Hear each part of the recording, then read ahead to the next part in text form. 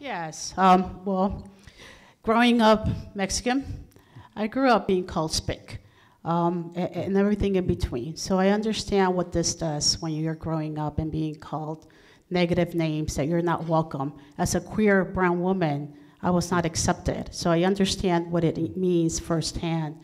When I became council member, at the beginning, being that I came in at the same time that Trump was being elected as well, one of the first things that he did was create a Muslim ban. The first thing that I did was call my Muslim community members of my district and said, I am here to help you. Let me know what I need to do.